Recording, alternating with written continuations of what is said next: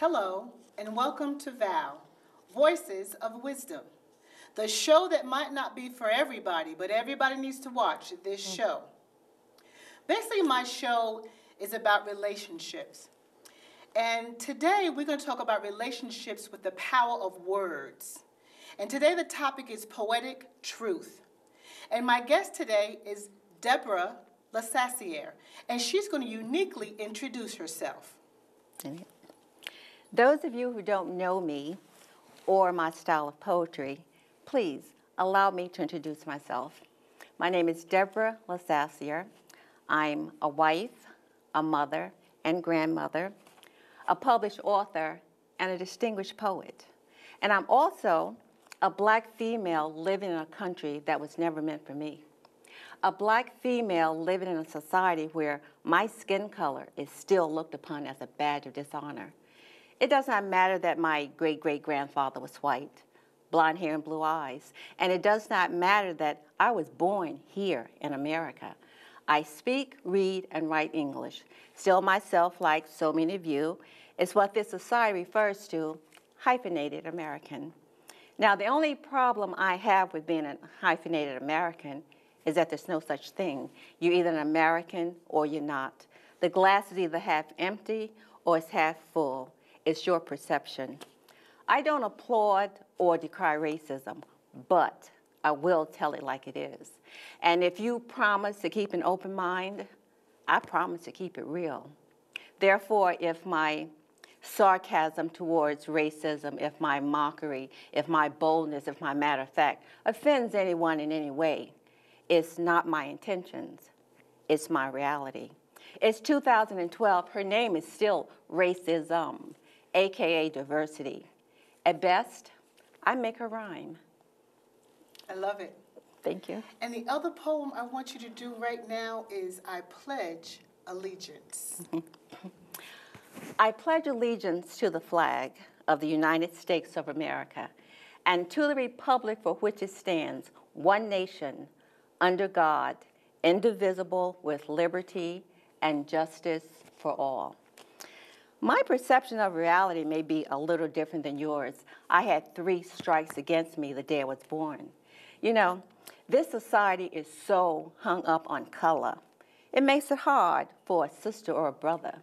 My skin may be as black as can be, but does that diminish who I am or deplete my hopes and dreams?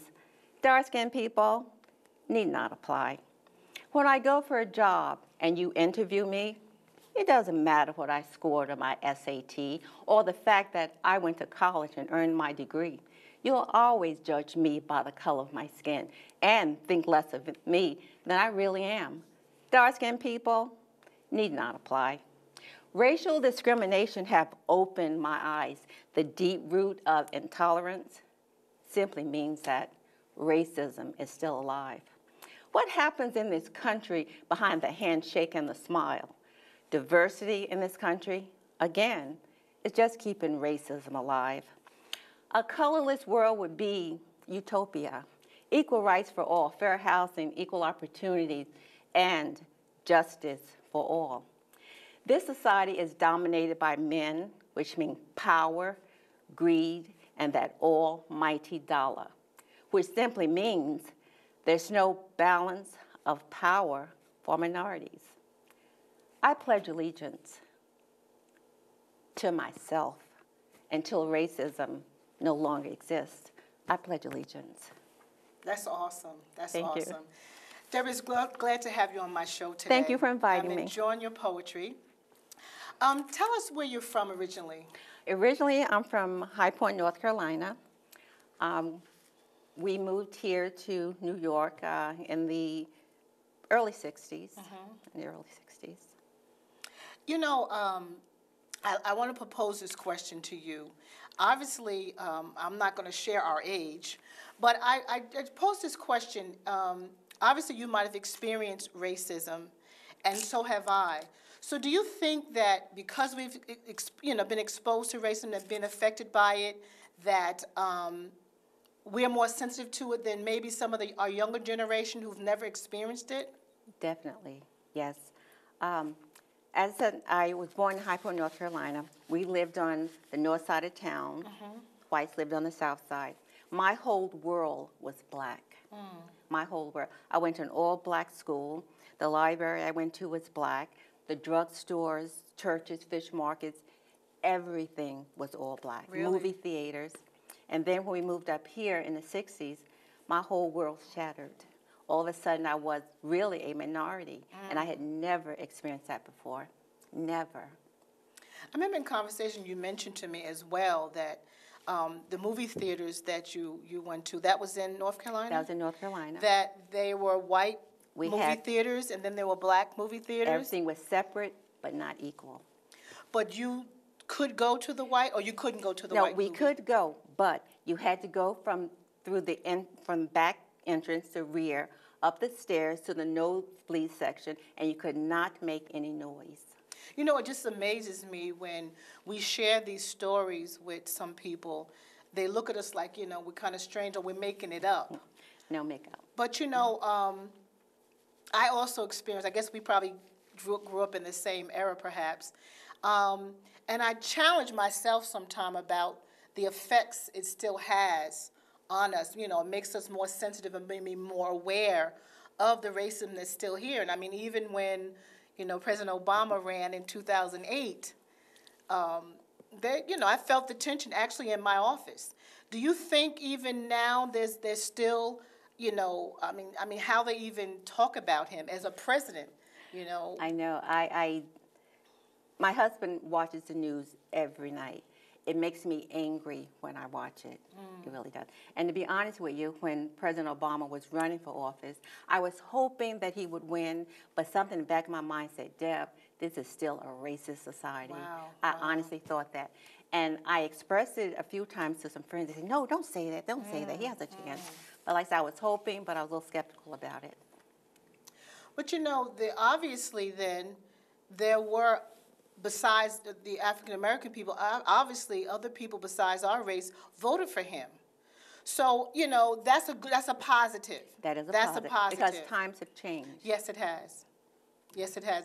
But it's, it's interesting because I think we still see and feel, you know, unfortunately, the sting of racism, The stigma of it, Yes. you know? And um, I guess it'll, it's not going to go away. Well, not in my lifetime. I Mm. don't think, not in my lifetime. Give us another poem that you could relate to what we're talking about now. Okay, um, this is one um, called Beauty's Only Skin Deep. Mm-hmm. There's a little story behind it. I get mixed up if I want to watch you or watch the camera. so, um, when I was about three or four years old, my mom took me to work with her. She did domestic work like many colored women did back in the 50s. Mm-hmm. Her boss was Miss Fur. And I have to admit, like when I was writing this book, When Color Fades, and I thought about this incident, I never saw color with Miss Fur. Never saw mm. color with her. Mm. Anyway, my mom took me to work with her. Miss Fur had some luncheon that my mom had to do. So this is in North Carolina? North Carolina. Okay. When I was about three or four. Okay. So Do my you mind saying the year, or you rather well, I'm not? 61 years old. Okay, okay. So this was right. back in 53, 54. Okay, I just want to give a perspective Oh, of yeah. the time frame. Yeah. Not trying to expose your age. Oh no, I look good for Because my you still look age. good. I, I know, I know. So my mom took me to work with her. She set me up in Miss Fur's den Mm-hmm. on the floor. So I had broken crayons and this old coloring book, paper dolls, and um, dull scissors. Mm-hmm. So every once in a while, my mom would stick her head in the door. She'd say, Deborah Ann. And I'd say, yes, ma'am. She'd say, you okay?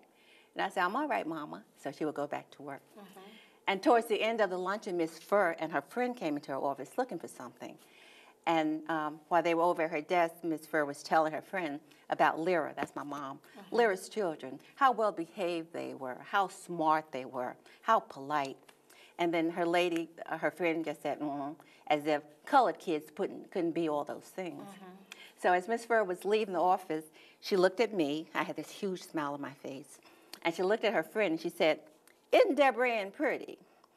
And still smiling. And her friend looked at me, then looked back at Miss Fur and said, She's pretty, but she's colored.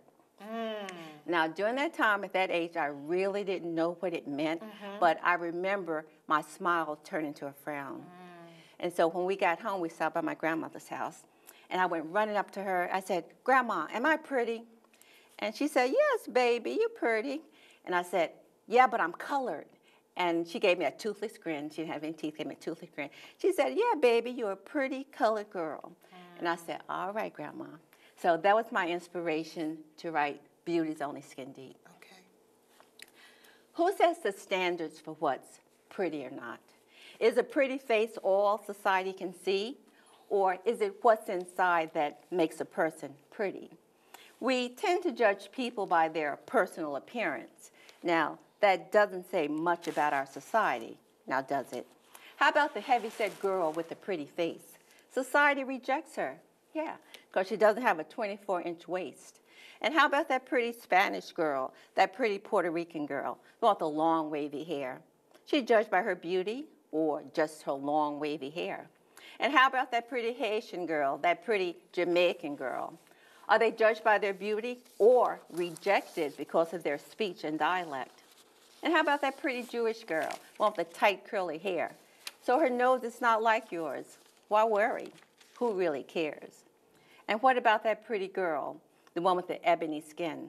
Society thinks she's not pretty because she doesn't have blonde hair and fair skin. But you know, I was talking to a pretty woman just the other day, but when she opened her mouth, her beauty escaped. What's the point of having a pretty face when you're missing character, morals, good judgment, and good taste? Beauty's only skin deep. That's awesome. That's awesome.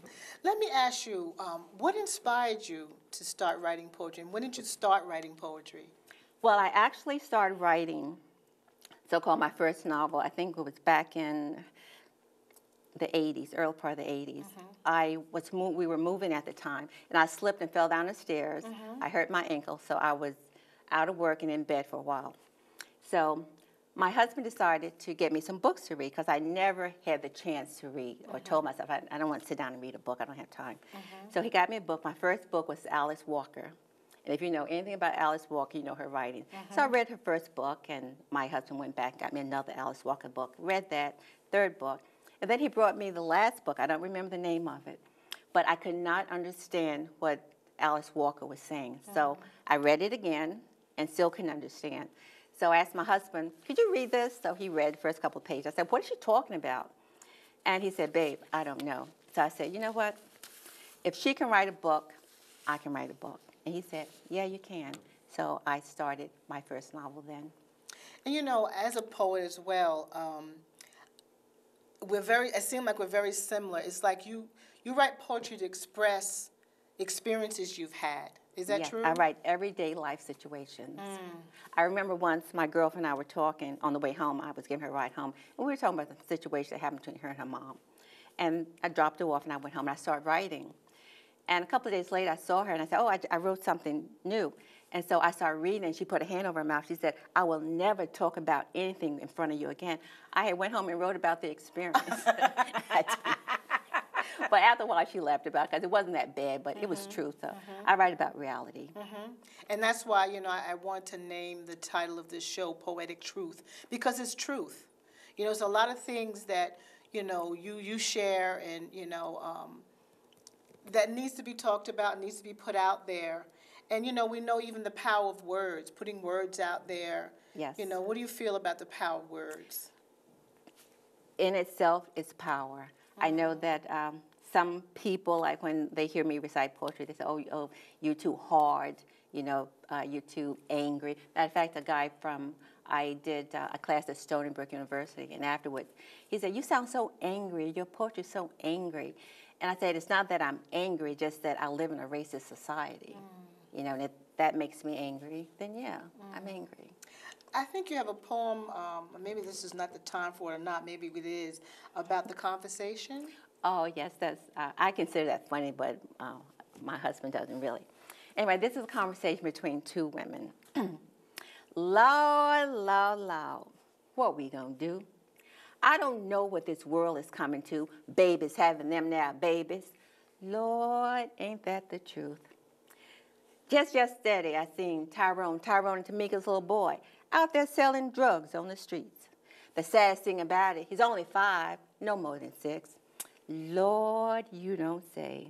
And just last week, this little 14 year old broke into Miss Emma's house and stole her clothes. Lord, you don't say. And I read in the papers this little seven year old boy shot his mama because she wouldn't let him go outdoors. Lord, you don't say. And how about them now boys taking them there, wearing them long black coats, taking them their guns to school, just shooting everybody up, just acting a plumb fool. Lord, you don't say. But I say, who do we blame for the outcome of our kids? They only know what they believe to be real. Daddy's gone, taking care of somebody else's kids, and mama's working two full time jobs just to make ends meet. And grandma, you've seen the grandmas of today? The last we heard, grandma's dating some man, not quite 21. So, who do we blame? Who's really at fault? Lord, Lord, Lord. What we gonna do? The conversation. Wow, I like that. I like that. You know that even with that, you know, is is the power of words we were saying before in the conversation and having the dialogues about life, you mm-hmm. know, about situations.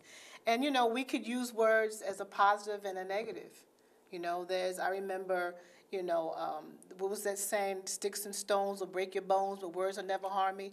That's such a total lie. Oh, well, let, not to cut you off, but That's I remember in North Carolina during the 50s, early part of 60s, you could get away with calling someone the N word Mm. or Negro. Mm-hmm. During that time, you could not call anybody black. Calling someone black was like talking about their mother. And whether you could fight or not, you had to defend your mother. Interesting. And then later, James Brown came out, said Loud, I'm, black, and I'm proud. It played on the radio stations like a national anthem. Mm-hmm. And then all of a sudden, it's okay to be black. Mm. Don't call me anything but black. Mm. You know? You know, it's interesting how, you know, going to the root of, you know, thinking about how or why even race and racism, rather, racism even came about. You know, I, I think about that sometime and uh, I just wonder why they even have to be. You know, I, I guess sometimes, you know, I, it's really stupid to even even have that question, but I have that question when I think about what it has done to people, done to a whole race, destroyed a people's mentality. You know, they say that happened a long time ago, but people don't understand. You know, we talk about the Willie Lynch. Oh, Um, I have a poem about him too. Oh, you do? Okay.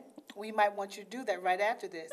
But even with that, um, people say, oh, won't you forget about that's been a time. But you know, people don't understand there was a power that happened, unfortunately, with words. And not only with words, but actions.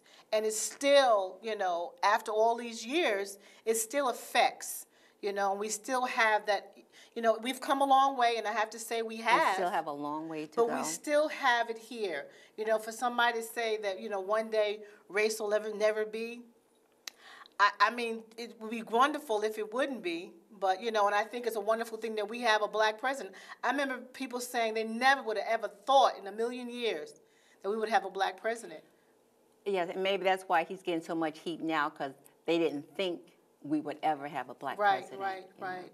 And you know, the disrespect that they give him is, um, is very sad. It is. It's very sad. is. It's very sad. But you know, I'm learning that we have to still stay above, above that because it's not all people. You know, it's just a, a certain group of people. Because obviously, like we said earlier, had not some white people voted for him, Right, right. he had to have gotten in not just from a black vote. And that was another thing during that time. Um, you know, it was they were saying, well, you you just because he's black, that's why you're going to vote for him. You know, his education, his everything about I mean, if you him. took his, the color of his skin out of the equation and his credentials and background. Absolutely, absolutely. Do you want to do the Willie Lynch one Oh, for yeah. us? Okay, where's Willie Lynch? I did a presentation in one of the high schools once, and I asked if anyone knew who Willie Lynch was. Right. No one had a clue. Mm. No one had a clue. You know, I did, as you're looking, I, I actually um, was asked to come to a, a Sunday school class in, um, I think it was in East Quogue, and talk to, and it was an all-white church and all-white students, but they asked me to come, it was during Black History Month, to come to talk about different things. And I, you know, talked about the power of words, what we're talking about now, and how, you know, you can make, one person can make a difference. And I brought up the issue about Willie Lynch. Mm-hmm. And they didn't know, most of them didn't know. But it was so interesting how open the young people was, and the adults was there, I thought they were gonna have a cow. They was, I could see on their faces, you know, they had no idea what I was gonna talk about. Mm-hmm. But, you know, just even that alone, the difference between the kids, young people being very open to it, and some of them in that generation, the older generation, having little, you know, issues with me even talking about Willie Lynch. So on that note, I'll let you, uh, give us that Okay, poem. Mr. Willie Lynch. I'm gonna have to read them because I didn't uh, memorize it. Mm-hmm. I was watching the movie Animal the other night, and the name Willie Lynch was mentioned more than twice. Now, for those of you who may not know him, he was a slave owner living over in the West Indies. Mr. Willie Lynch was invited to Virginia to help the slave owners control their slaves. On the bank, on the James River bank, this is what Mr. Willie Lynch had to say that day. Listen, my brothers, to what I have to say. And if you do as I say, your slaves won't be running away. You are losing valuable stock, stock hanging them. If you kill them all, who gonna work your land? You know what the problem is, and you know what you have to do, my friend. I have the perfect method of solving your problem. I have a foolproof method of controlling your property. I guarantee control over the next 400 years. My method is so simple, you have to be heartless and cold. It will work best if you don't have a religious soul. You take their differences and you make them bigger. Then you instill fear, distrust, and envy in those people. Then use age, sex, color as a mental whip. That's what Mr. Willie Lynch had to say that day. Now, if we listen to everything you just broke down, You can read it. it's still going on right today. You know, and, and it's hard, people don't like to talk about this, but I feel like we need to talk about it. It needs to get out there, it needs to be talked about. And it's not like we're hating people and No. whatever, but I think it's a healing that still needs to be done.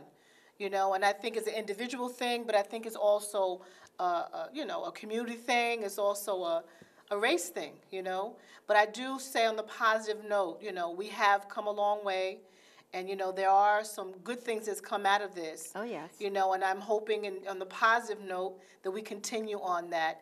Um, what do you feel about what's going on now again? Do you feel like you're going to have that same kind of feel now that we have a reelection as we did in 2008?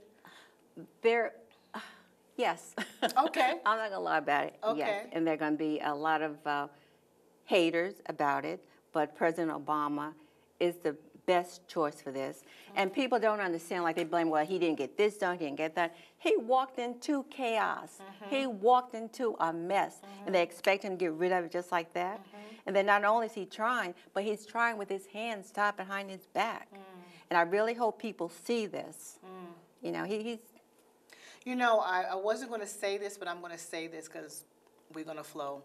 Um, I was recently at an art show, an awesome art show, and there was a art, a piece of art, and it was so unique. It was actually one of his speeches, and the artist actually drew the face of the President Obama from his speech.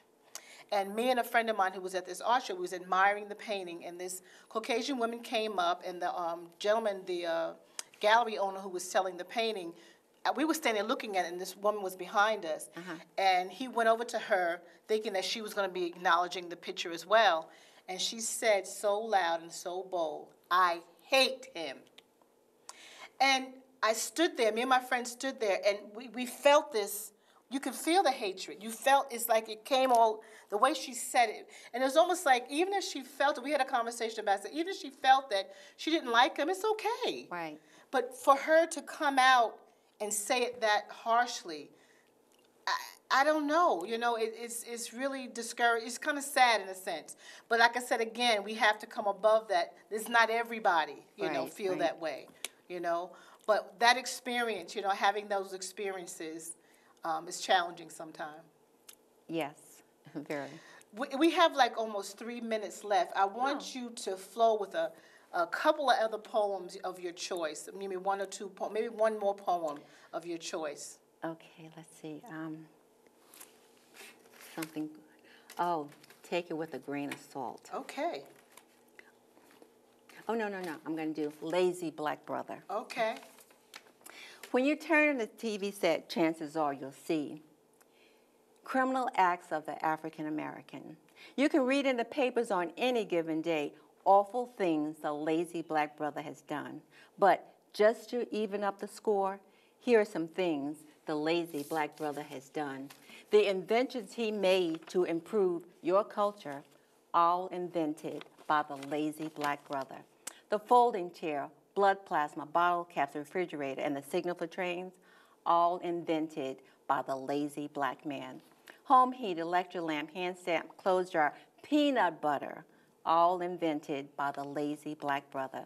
The mop, comb and brush, the light bulb, open heart surgery, all invented by the lazy black brother.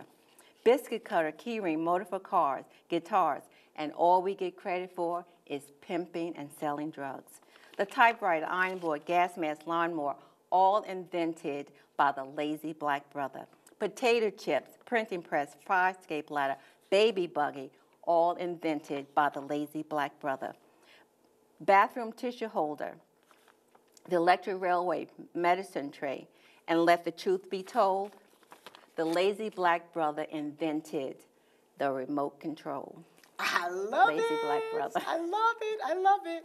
You know, we have like 50 seconds left, a minute left, but just quickly too, um, the media has a lot to do with how they present, you know, perception, you know, but um, the power word, you know, and I think we can have the power to change things, you know, one person at a time, you know, and I, I love your poetry. Thank you. And um, I think you're having um, a book that's coming out, or you have a book come, that's Um, out?